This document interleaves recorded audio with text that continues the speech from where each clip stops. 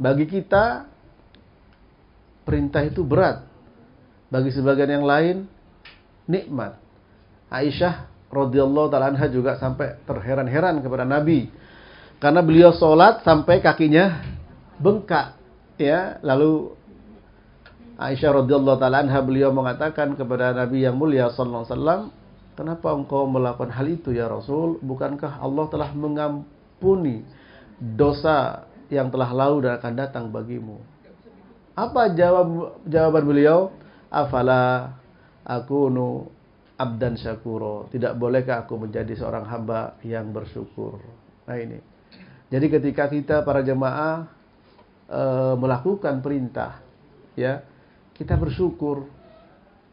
Ketika kita bisa meninggalkan larangan, kita bersyukur karena itu nikmat, ya nikmat karena Allah yang memberikan kemudahan.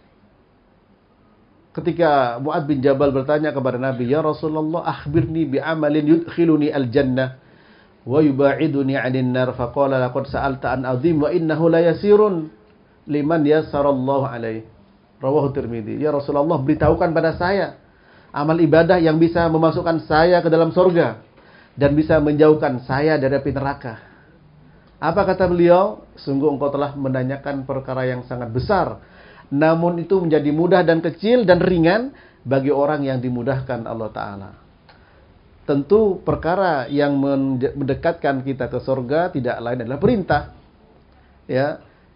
Dan yang menjauhkan dari neraka adalah juga larangan yang kita tinggalkan. Perintah yang kita lakukan, maka mendekatkan kita ke surga dan menjauhkan kita dari api neraka. Tapi ingat, kita masuk surga dengan amal atau dengan rahmat. Dengan amal kita atau dengan rahmat Allah Ta'ala? Maka jauh dan rahmat Allah Ta'ala. Betul Allah berfirman dalam surat Az-Zukhruf ya. Ayat berapa itu? Ya.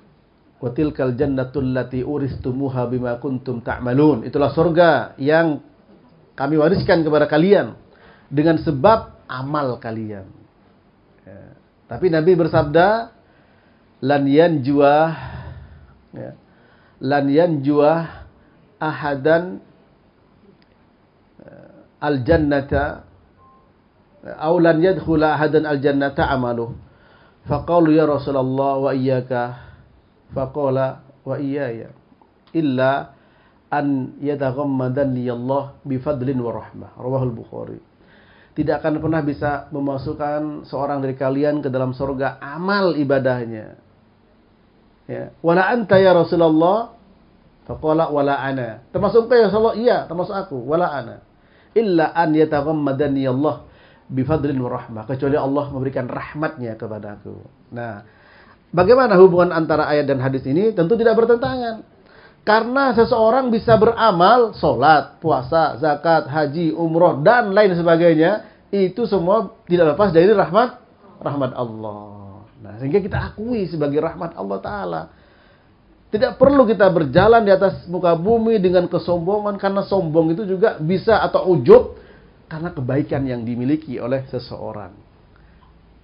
Yang kebaikan itu bersifat ukhrawi, akhirat, sholat, zakat, puasa, haji, dan sebagainya. Ini para jamaah rahmati Allah. Oleh sebab itu, mari kita senantiasa memahami apa yang menjadi kehendak Allah dari perintah sehingga kita minta juga pertolongan agar bisa menjalankan. Begitu pula mari kita berusaha untuk memahami apa yang menjadi larangan Allah taala. Ya. Sehingga kita bisa meninggalkan larangan-larangan tersebut, ya. Perintah dalam bahasa Arab ya al-amru, perintah. Ya. Dan perintah itu para jemaah kalau dengan cara ya ala sabilil ilzam namanya wajib. Kalau la ala sabilil ilzam atau ala sabilil afdaliyah maka namanya mandub atau sunnah atau mustahab. Tapi yang maksud di sini perintah adalah yang mengandung makna wajib. Apa wajib itu? Ma yusabu fa'iluhu imtithalan wa yastahiqu al-iqaba tarikuhu. Apa wajib itu definisinya? Sesuatu jika dilakukan dengan niat karena Allah dapat pahala dan jika ditinggalkan maka dia berhak untuk mendapatkan siksa. Ini ya. Ini wajib. Ini perintah para jemaah. Larangan ya ada larangan yang sifatnya haram, ada larangan sifatnya makruh. Ini maksud haram larang di sini adalah yang haram. Tapi orang-orang dulu, para sahabat itu tidak pernah berpikir ya, tidak pernah terlalu terlalu merisaukan apakah ini haram atau makruh. Apakah ini wajib atau sunnah. Selama itu memang yang ditunjuk oleh Nabi, mereka berusaha untuk melakukan ya kalau memang itu merupakan larangan, berusaha untuk ditinggalkan. Begitulah para jemaah. Ya. Seperti sebagian ulama mengatakan, kalau orang dulu, kalau melihat ini hukumnya sunnah, cara menyikapi begini. Ini sunnah ini. Ini sunnah. Kalau sekarang, ini sunnah. Sama kan? Kalau dulu, ini sunnah. Ini pegang betul. Sayang gitu. Kalau sekarang, ini sunnah. ya sama. Ini sunnah ya. ini dan sunnah. Tapi ini sunnah. Kalau kita sekarang ini sunnah. Ya, artinya nggak wajib. Ya. Iya betul tidak berdosa. Tapi kita berusaha untuk melakukannya.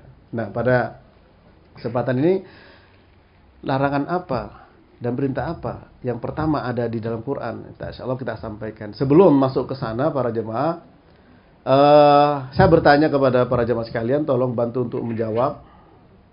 Lebih besar mana resiko yang dihadapi oleh seseorang di hadapan Allah Ta'ala? Meninggalkan perintah atau melakukan larangan? Ya? Lebih besar mana resikonya di hadapan Allah? Meninggalkan perintah atau melakukan larangan ya uh, ada yang melakukan perintah ada yang yang meninggalkan perintah, ada yang melakukan larangan. Berarti ikhtalafa alulama. ada perbedaan di sini. Ya. Ya? Larangan dosa. Sama, meninggalkan perintah juga dosa.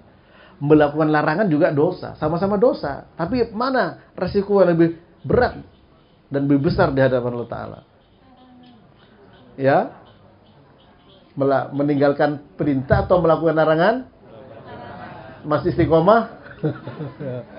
Baik. Saya jawab dengan pertanyaan para jemaah.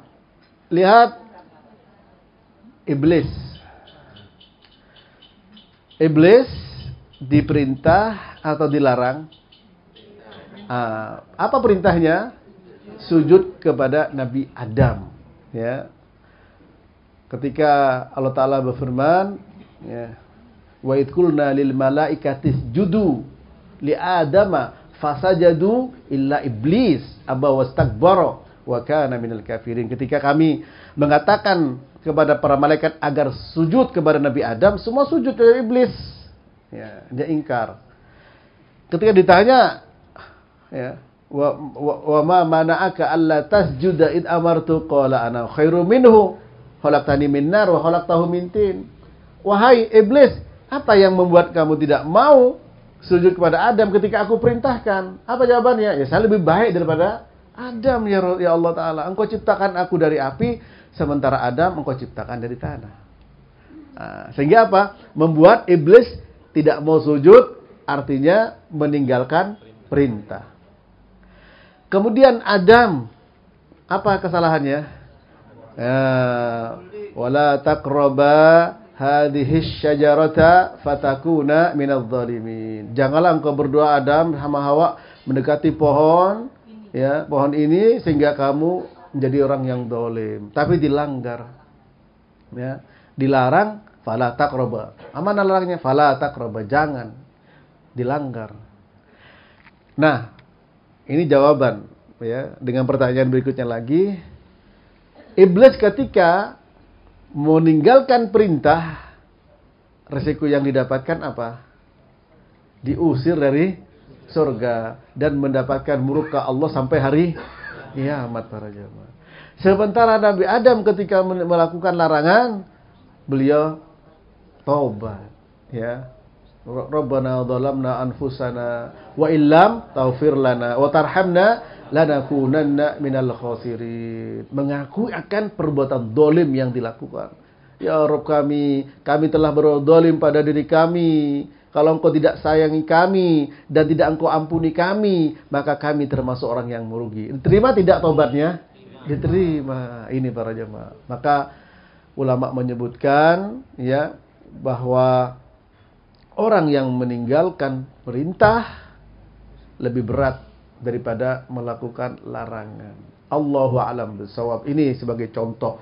Namun kalau kita perhatikan memang manusia itu potensi untuk melakukan larangan. Ya. Untuk melakukan larangan. Ya. Potensi para jemaah. Kenapa? Karena ada nafsu, ada setan, ada jin. Pertama surat Yusuf ayat 53 sering kita dengarkan wa ma ubarri'u nafsi innan nafsa la ammaratum bisu illa ma rahima rabbi inna rabbi ghafur rahim. Kata Zulaikha sebagaimana Allah berfirman, aku tidak berlepas diri dari kesalahanku.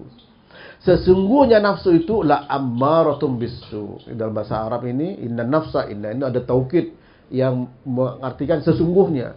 Inna inna nafsa La amma lam lam taukid ammarah sigoh mubalaghah dari kata amirah.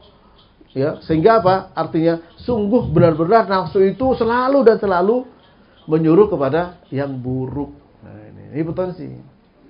Memang manusia potensi begitu. Yang kedua, bahwa kita masing-masing memang dibekali bersama kita korin berupa jin dan korin berupa malaikat.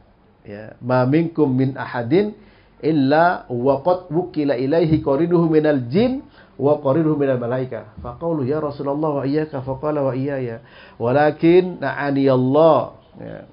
Fa aslama wa la ya'muruni illa bi khair. Akhrajahu Muslim. Tidaklah masing-masing kalian kecuali diberi korin teman dekat berupa jin dan malaikat. Termasuk engkau ya Rasul, iya termasuk aku tapi Allah Ta'ala telah menolongku. Sehingga korin jin aslama. Aslama itu masuk Islam dan tunduk. Sehingga korin jinku tidak menyuruh kecuali yang baik-baik.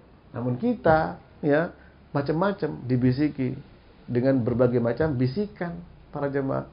Ya, alladhi yuwaswisu fi sudurin nas minal jinnati wan Setan baik dari jin maupun manusia kasih bisikan. Ya dari sinilah para jemaah rahmati Allah, ya memang manusia itu potensi untuk berbuat dosa, berbuat salah. Ya. Illa ma rahimah rabbi kecuali yang dirahmati oleh Allah Subhanahu wa taala. Nah, para jemaah yang dirahmati Allah, kita lihat ya di dalam Al-Qur'an ijma para ulama ya, urutan Quran itu surat yang pertama adalah surat Al-Fatihah. Yang kedua surat Al-Baqarah dan selanjutnya Ali Imran, An-Nisa, Al-Maidah, Al-An'am, Al-A'raf, Al-Anfal, At-Taubah, Surat Yunus, Hud, dan seterusnya. Dan kalau diperhatikan dalam suratul Fatihah, ya, di situ tidak ada perintah dan larangan. Ya. Dari awal, ya, Bismillahirrahmanirrahim, Alhamdulillahirobbilalamin sampai akhir. Perhatikan, tidak ada perintah dan tidak ada larangan. Ya. Wah ada Ustaz apa? Ihdinas siratal mustaqim. Masa Allah diperintah? Nah itu. Tunjukkan kami. Nah, kalau ada kata perintah kepada Allah dari bawah ke atas namanya ad-du'a, bukan perintah. Doa. Itu. Ya, doa. Baru kalau di atas ke bawah itu namanya amr perintah. Ya. Nah, sekarang Perhatikan dari Al-Baqarah Alif Lam Mim Dzalikal Kitabu La Raiba Fi sampai ayat 20 tidak ada perintah, tidak ada larangan. Baru pada ayat yang ke-21 ada perintah. Ayat 22 ada larangan sekaligus. Apa perintahnya para jemaah? Ya. Ayat 21. Perhatikan di situ Allah berfirman, يا أيها الناس اعبدوا ربكم الذي خلقكم والذين من قبلكم لعلكم تتقون Yang diperintah dipanggil adalah manusia, bukan hanya orang beriman saja, semua manusia. Ya ayuhan nas, wahai manusia.